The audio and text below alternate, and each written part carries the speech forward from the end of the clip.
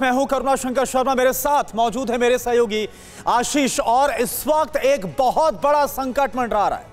जी हाँ, corona monkey pox के बाद देश में लंपी वायरस का बहुत बड़ा खतरा। यह बड़ी खबर आपको हम बताएँ, कई राज्यों के पशुओं में लंपी वायरस का प्रकोप देखा जा रहा है। राजस्थान, गुजरात जम्मू कश्मीर में सबसे ज़्यादा संक्रमण फैल चुका है। लंपी से देश के कई राज्यों में हज़ारों की संख्या में पशुओं की मौत हो गई है। पशुओं में फैलने वाला वायरस लंपी वायरस, और अभी तक की जानकारी यह है कि सबसे ज़्यादा ये जो वायरस है, वो गायों में फैला है। और ये जो खतरा है, वो काफ़ी तेज़ी के साथ अपने पैर पसारता हुआ नज़र आ रहा है। ये तस्वीर हम आपको दिखा रहे हैं। आप देखिए, लंपी वायरस का जो प्रकोप है, वो देश के कई राज्यों में फैल चुका अकेले राजस्थान की बात की जाए तो राजस्थान में 16 से ज़्यादा जिलों में लंपी वायरस फैल चुका है। अकेले राजस्थान की बात की जाए 4000 से ज़्यादा जो पशु हैं, वो लंपी वायरस की वजह से मारे जा चुके हैं। आप समझ सकते हैं कितना बड़ा खतरा, कितना बड़ा संकट इस वायरस की वजह से देश पर आन पड़ा है।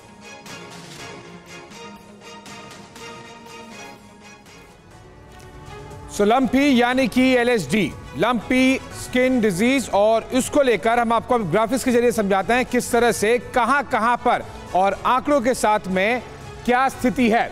घातक लंपी ने किया है, कितना परेशान, शक के घेरे में है पाकिस्तान। वो इसलिए क्योंकि अफ्रीका के ज़रिए, अफ्रीका से शुरू होकर पाकिस्तान होते हुए भारत में एलएसडी वायरस आ गया है, जिससे काफ़ी बड़ा खतरा हो सकता है।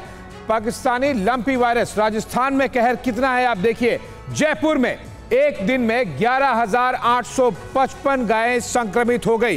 काफ़ी बड़ा नंबर है ये। केवल एक दिन में। दूसरा आप देखिए जयपुर में लंपी वायरस से 730 गायों की मौत हो गई है। तो ये घातक संक्रमण है और हम आपको केवल कुछ शहरों की ही बात बता रहे हैं। इससे आप अंदाज़ा लगाइए जब पूरे राजस्थान गुजरात और बाकी जगहों पर देखेंगे तो नंबर्स कितने ज़्यादा हाई हैं। बीकानेर में देखिए 22 दिन में लंपी से 527 गायों की मौत हो गई है। जयपुर के बाद में अपने बीकानेर देखा इसके आगे देखिए, बाड़मेर में 2000 से ज़्यादा पशु दम दम तोड़ चुके हैं। ये केवल बाड़मेर का आंकड़ा है। इसके बाद हम आपको बताते हैं किस तरह से बाकी इलाकों में भी ये फैलते जा रहा है। बाड़मेर में ग्यारह हज़ार सात सौ पचासी गायें संक्रमित हो गई हैं।